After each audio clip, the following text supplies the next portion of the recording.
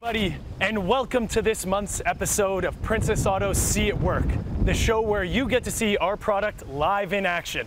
My name is Matt, and this is Derek, and on today's episode, we're going to be talking about the Tazz brand chipper shredder and the string trimmer. For all of our first time viewers here, if you have any questions at all, please feel free to add them in our comment section. And if you do, you can be entered for a prize. Today's prize, we are actually going to be giving away one chipper shredder and a string trimmer. So good luck to everybody out there. And we'd also like to say thanks to our Tazz vendor for supply, supplying us today with this great product. We're really looking forward to seeing what we can do with this. So Derek, Yeah. what do we got here? Well, we're going to start off with the chipper today, Matt. So this guy is uh, 212 cc. It's about seven horsepower. Um, it'll take up to a three-inch branch, um, leaf litter, and up to one-inch branches on the top. Um, it's got a lot of nice features: a removable bag to uh, take and distribute the mulch, um, no flat tires to run over land, really easy to transport, and uh, just a, a, a nice little machine. So if you've got a yard to clean up like we've got back here, um, this will take uh, this in short order and take care of it. Should be able to take care of all of this here? Absolutely, yeah. All right, well, it looks like we have a lot to get through here. do, yeah. So maybe should we uh, test it out a bit Sure, and see how it give it a goes? shot. Absolutely. All right, Yeah. But always first, safety. Safety first. So right before we start, I'll just mention that, um, like you know, any small engine, you're going to have a choke lever, uh, throttle lever, on/off switch, um, and a fuel switch typically. So the fuel switch is already turned on. That's right down here. We've got our on/off switch to the side here, throttle lever, and the choke lever. All right. So we're going to get going here. All we'll do some leaf litter to start.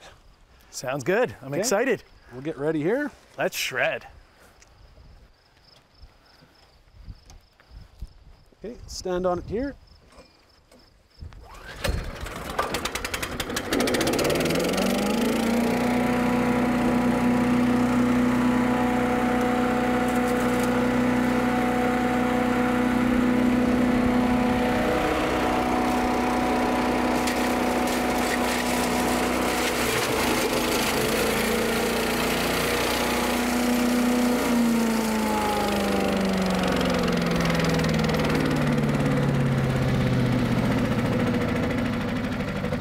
So it'll take a minute to slow down. It's got a weighted flywheel in it, obviously to, to keep the uh, momentum going. Uh, so it takes a little bit to slow down typically, uh, you know, versus another small engine. And uh, yeah, I mean, that just pulled that right in and chop it up. So easy peasy. Uh, we'll get to some uh, branches a little bit larger here in a minute. That's, uh, I gotta say, that thing uh, hammered through pretty quickly there. Absolutely. So before we go any further, we're gonna take some questions here and try to answer, answer them for everybody out there. We have a question here from Perry.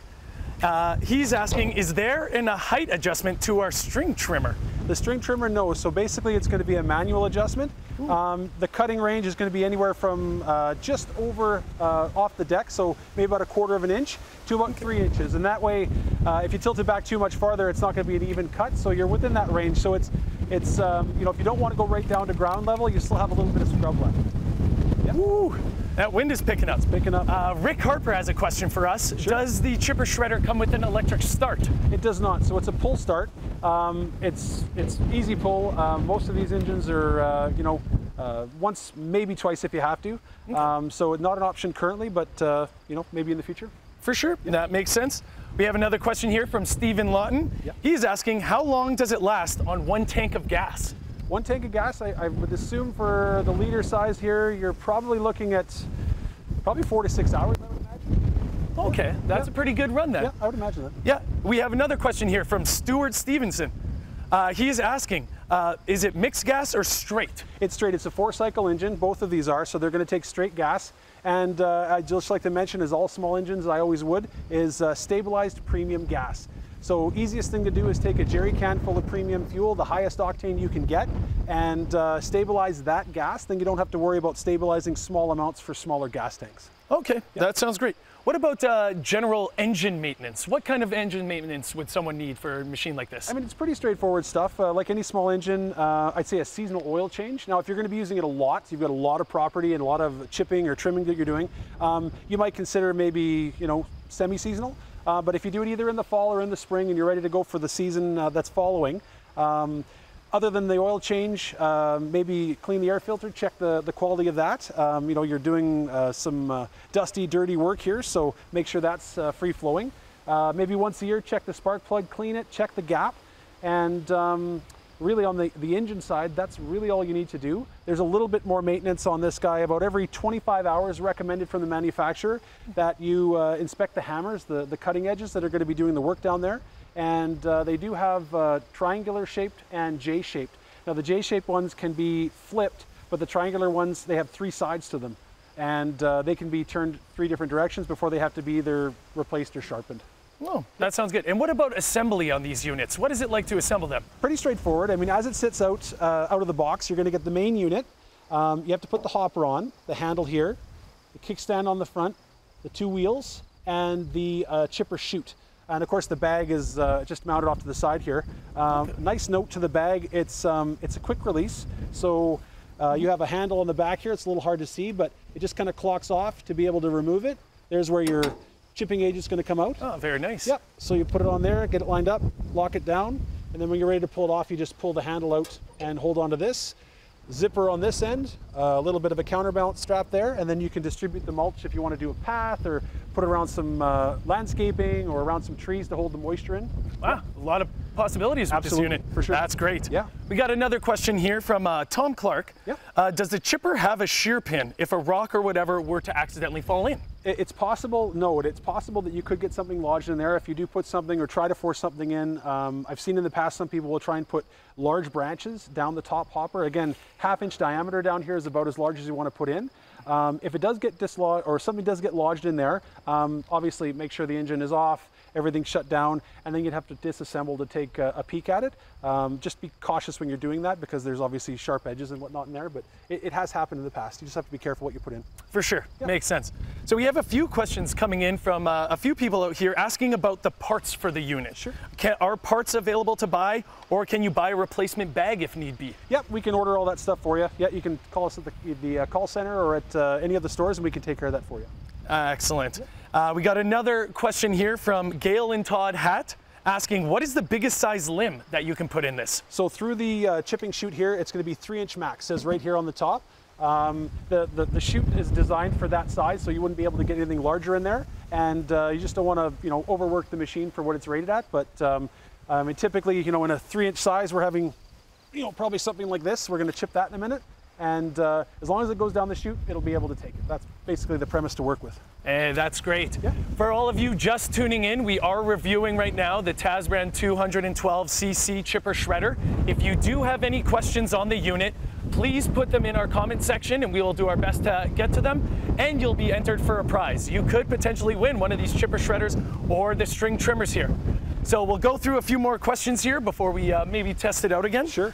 Um, do you have to use a bagger for this unit? asks Kathy Jones.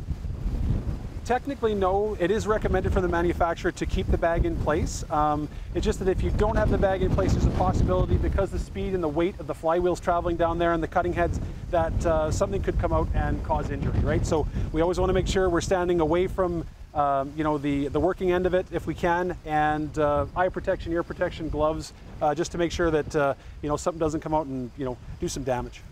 That sounds good.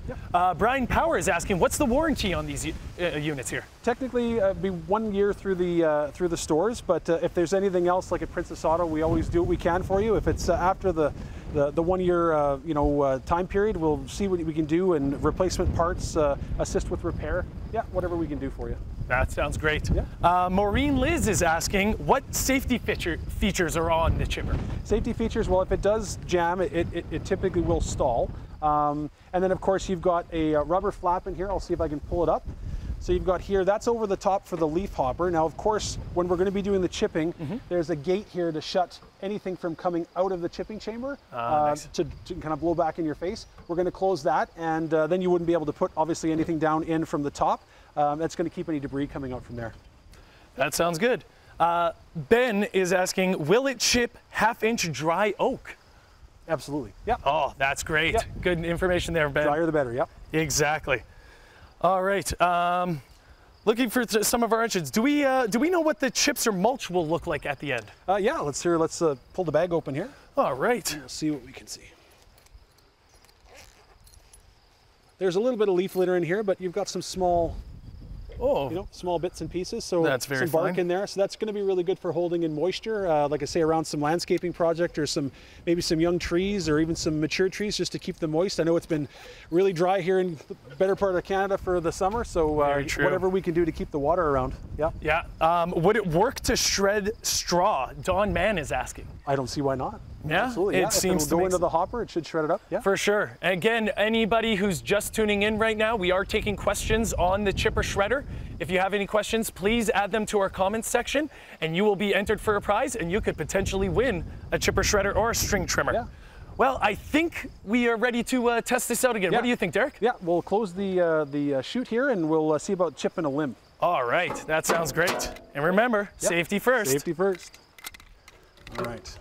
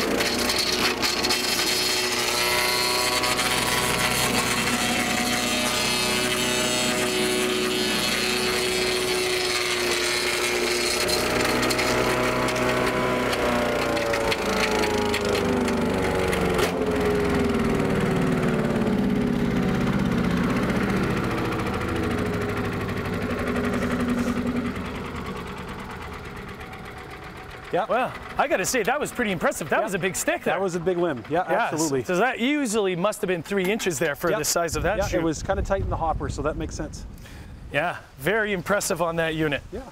All right, thanks again, everybody, tuning in. We are talking about the Tazz brand 212cc chipper shredder, and we are also here to talk about our 150cc string trimmer. So, why don't we talk about that one for a little Sure. bit, Derek? Yeah, absolutely. So out of the box, this is really simple uh, to put together. Uh, basically, it is all installed. Um, the handle is folded down, so we've got some adjustment knobs on either side here. Mm-hmm. Um, they've got a nice uh, engagement system here to lock into place. So if you're a tall guy, shorter person, you can adjust them up or down. And if you want to store it or take it somewhere, if you have to take it into a vehicle like a van or uh, a truck maybe with a tonneau cover, you can fold the handles right back down. And then when you get to where you're going, fold them back up and you're ready to go. Yeah, that's pretty easy. Yeah. So we uh, have some few questions here on this unit. Yeah. Uh, Cody is asking, is it a walk behind tripper, uh, the, the walk behind trimmer? Mm-hmm. Is there an option for a solid blade or is it just the string trimmer line only? string on this model. Uh, no solid blade available. We do have, uh, in the box, you will get two sets of the trimmer strings, and we do have available, uh, I believe it's 24 pack of replacement blades. The string diameter is uh, a 155, so it's really heavy, um, and you'll be able to take down, we're gonna be going out into the back field there in a few minutes, and uh, you'll see it, it works like a charm. Excellent. Yeah. That is great to hear. Uh, do the wheels have bearings or is it just plastic on the axles? There is a flange bearing on the wheel, uh, a sealed flange bearing, uh, riding on the axle, so it does have some support there. Um, a little bit of lubrication, kind of the maintenance, other than the standard engine maintenance that we talked about on the uh, on the chipper. Um, you'd go and uh, lubricate the jack shaft and the uh, axle itself, uh, maybe every, uh, you know, I think 10 to 15 hours, something like that. Uh, it's all in the uh, in the manual, very simple. Other than that, it's basic engine maintenance, air filter, uh, oil change, and check the plug, um, just to keep it fresh every season. Oh, that's pretty great. And uh, sorry, what's the cutting diameter on this unit again? It's a 22 inch radius, Okay. and uh, yeah, anywhere between uh, of a height uh, between uh, zero and uh, three inches, approximately. Okay. Yep. And uh, this engine compared to the other one, is this uh, need a gas oil mix or is it Nope, a straight? it- it's a four stroke as well. Yeah, Perfect. you're 150 cc, so you're just over four horsepower. Um, and yeah, premium fuel, stabilized as well. Um, put some stabilizer in the jerry can and keep that topped up. Um, and that way, if you happen to have it parked over a season, the best quality fuel you could put in it with stabilizer is going to keep it fresh till the next season. No, that sounds great. Yep.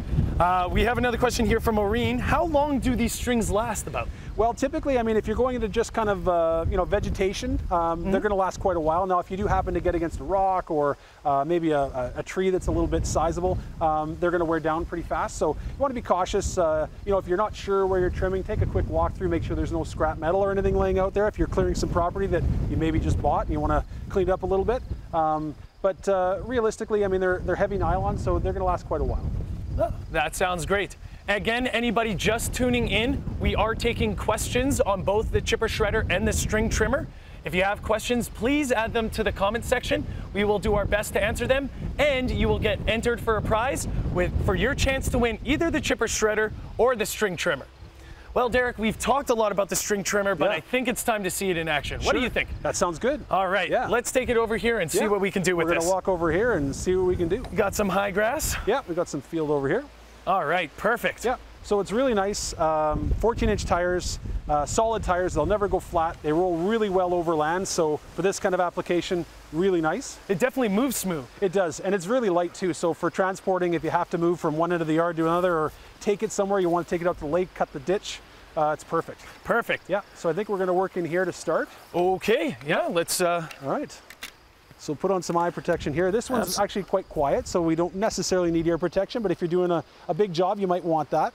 So they're pretty basic here, just an on-off switch. There's a fuel primer bulb on the, uh, on the left side of it. We're gonna give that a few pushes, as indicated. And then we're gonna come over here and give her a pull. got some headphones for you. Thank you, sir. All right. And here we go.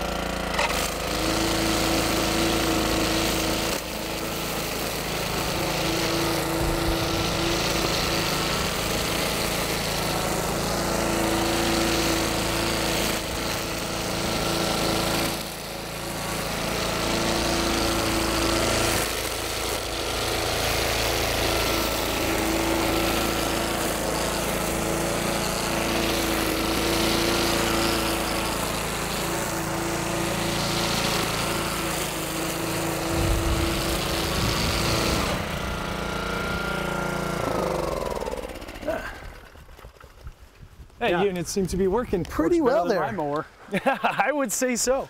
So after watching you use it, I have a few more questions uh, Sure. coming up. Absolutely. Is, is this unit self-propelled? It's not self-propelled, but it's really light, so moving it around is, is a dream. It, it, it's, uh, it moves almost on its own, but not on its own. Yeah, That's that that is fair. And uh, what would you say is the weight on this unit? Pretty easy to Yeah, move I think we're. I think it's somewhere in the range of about the mid 30 pound range, so it's very light, very, Oh, yeah. very portable. Yeah. It definitely sees, uh, makes sense on there. And uh, how about the gas tank on this? How long do you think you could run this unit before you need to refill it? It's a little bit smaller tank. I'd say you'd probably be into probably a couple hours, I would imagine. Oh, Yep. yeah, that seems like a decent amount too. Yep. Anybody just tuning in, we are talking about the string trimmer from our Tazz brand. If you do have questions, please add them to the comments. We would love to get to them, and you can get entered for a prize. Maybe you can even win one of these string trimmers. Absolutely. That'd be pretty nice. Yeah. And uh, we have a question here from Anna Carr. She is asking about the noise level on this string trimmer. Right. What, what how loud is it? I don't have a decibel rating off the top of my head. It's quite quiet. It would be on par with most lawnmowers. So, um, you know, you hear them fire up at uh, 8 o'clock on a Sunday morning, right? for sure. as, they, as the neighbors are apt to do.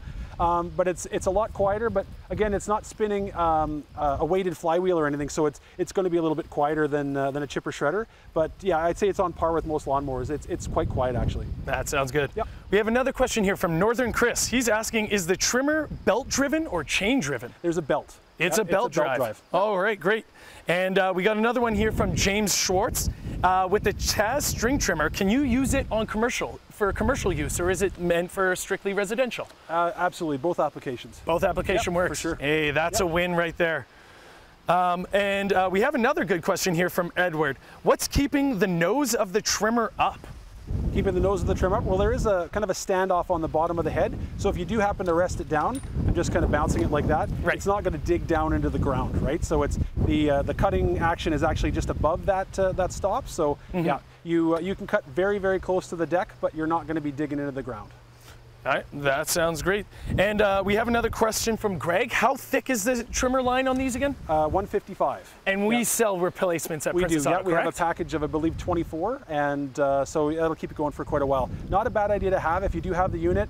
You live obviously. You're probably not going to be, uh, you know, downtown somewhere using this. So if you're out in the country and you're uh, a distance away, keep some. They're kind of a consumable part, so something to keep in mind. That's great. Yeah. Well, I got to say, Derek, uh, it's an impressive unit, and you did an impressive job here. But Yeah. uh, I mean, this is some pretty low grass. I think we got to see you actually put it to the works, huh? Sure. Let's so, uh, head out into the yeah, field. I got this field over here that could Yeah. use some trimming. How about All you uh, get in Sure. there and see Well, what it can do? We'll move over there Awesome. and we'll get ready to set it up again. Quick start.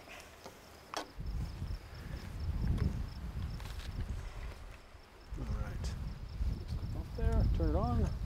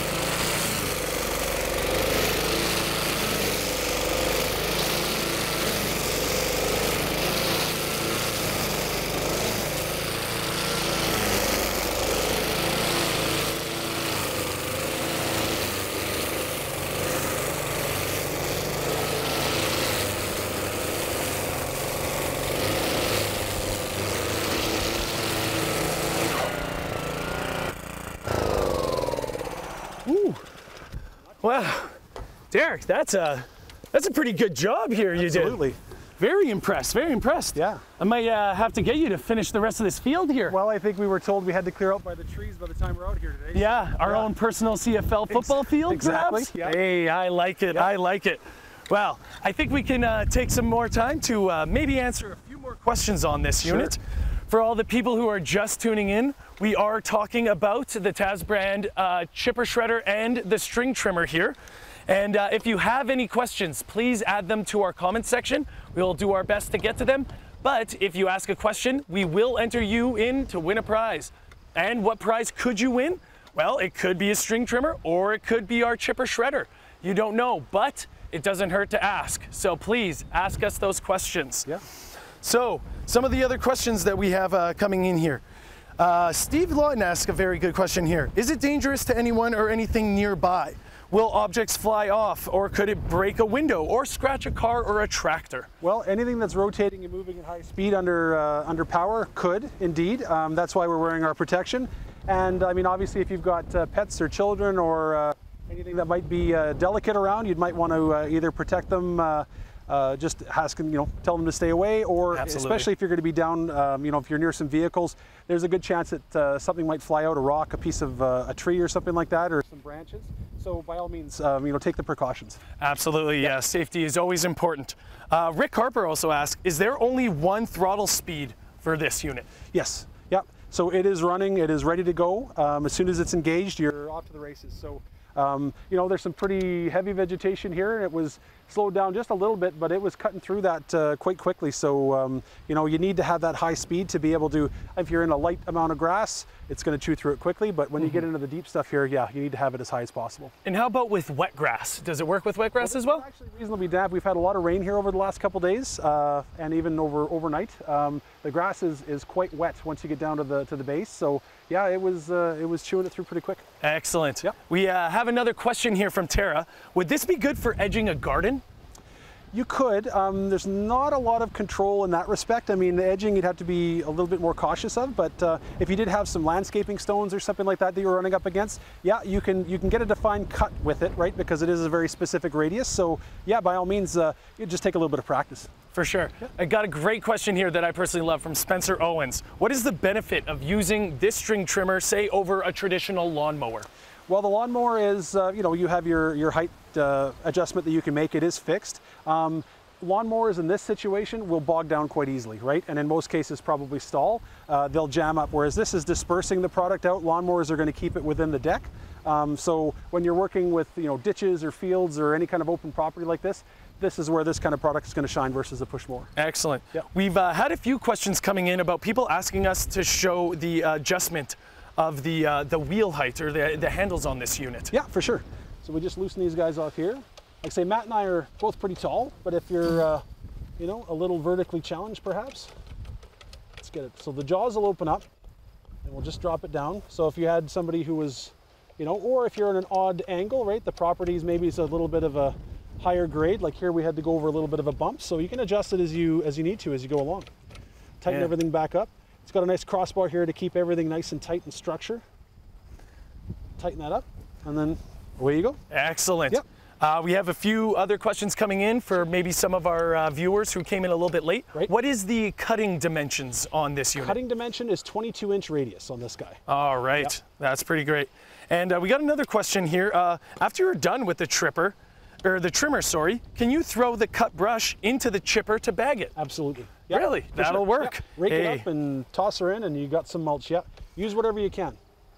That is great to hear. Uh, got another question here. Um, do, will this string break if it is hit by a rock by accident? Yeah, there's a possibility. I mean, you come across an object like I say, a rock, uh, scrap steel, a a piece of uh, you know fencing or something you've got there. There's always an opportunity for that nylon to break. It's spinning at a high RPM and it's got a lot of force behind it. That's why I would always suggest keeping some consumables.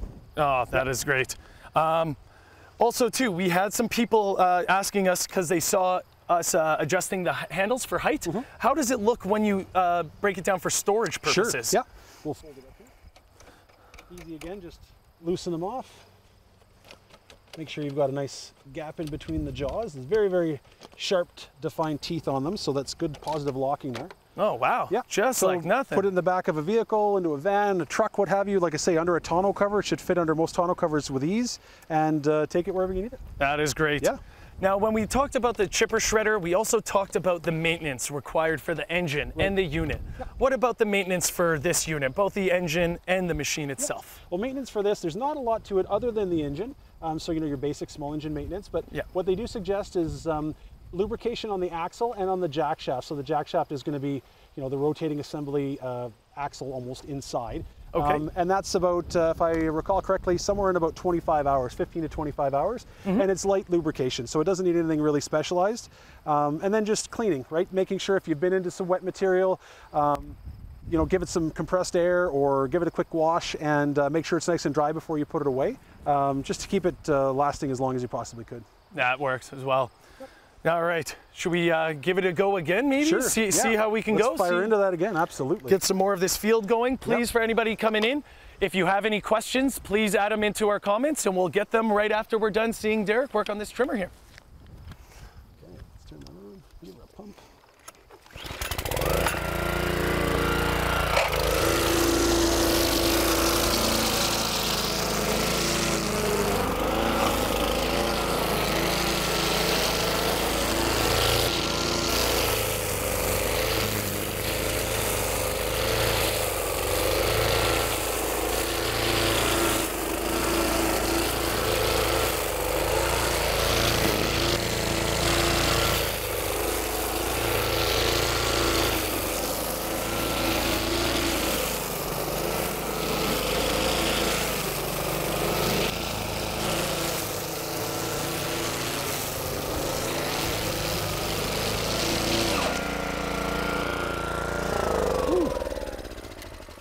That unit just cuts like a knife. Doesn't stop.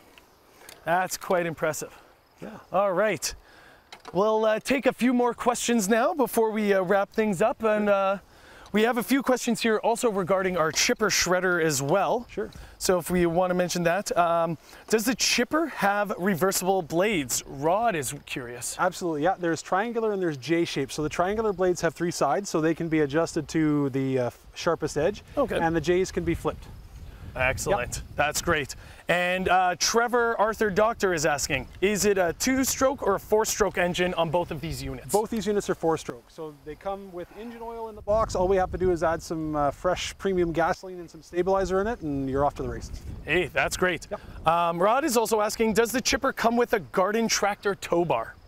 It does. There is an option available for it, but it does not. Sorry, it does not. Uh, there is an option available for that, um, but it does not come with it. Eh, That's fair enough. Uh, Tara is asking, do you need to keep the front of the trimmer off the ground or does it glide? It kind of glides, like as you can see here, it's kind of bouncing off the nose of it. So, I mean, ideally you'd want to keep a little bit of, of you know, depending on how high you want to keep the vegetation. Um, but uh, you could, you know, kind of move along the ground like so. Hey, that works well. All right, we also got uh, another question here from Ivy, very important. Can this be purchased online and have it shipped? Absolutely, yeah. Oh, that's great. Purchased and shipped online or in the store. That is great to hear. I know a lot of our customers are going to really appreciate that. That's right. Yeah.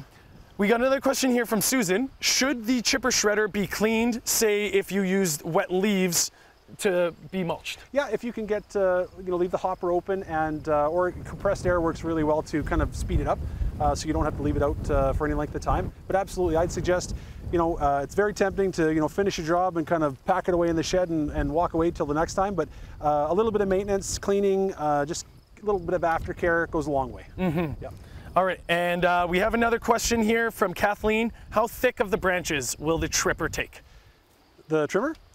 The the the chipper shredder. The chipper. sorry. So the branches that go into the hopper with the leaves, maximum diameter would be half an inch by about 18 inches long or so. Um, Okay. A little bit longer wouldn't hurt. Uh, the maximum diameter for the actual chipping chute is three inches. So if it will fit down that chute, it will accept it.